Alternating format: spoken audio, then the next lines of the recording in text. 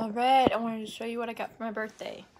First from my neighbor lady, I got some milk chocolate and caramel dove chocolates. Some Forever Ferrero Rochers.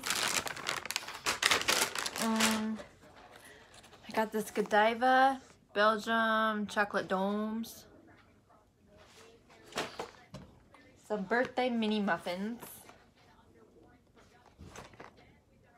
Look kind of good. She spoiled me. And then I got this really pretty candle.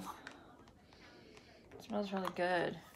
It's Chesapeake Bay Candle.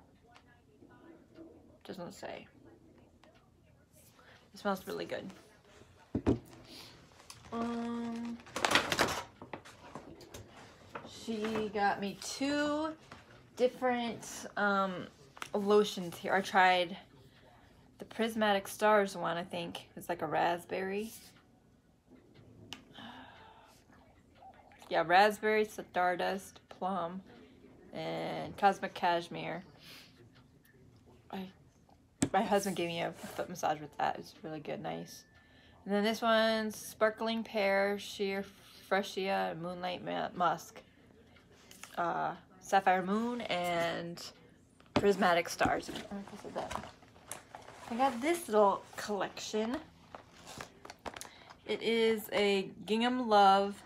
It's the spray, the lotion, again, and the um, shower gel. Oh, and then a another little lotion here. Uh, hand cream, I guess it's called.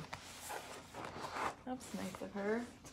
And then, well, my mom got me these socks and then a $50 Starbucks gift card. Right here. And then the neighbor lady also got me a the set of candles.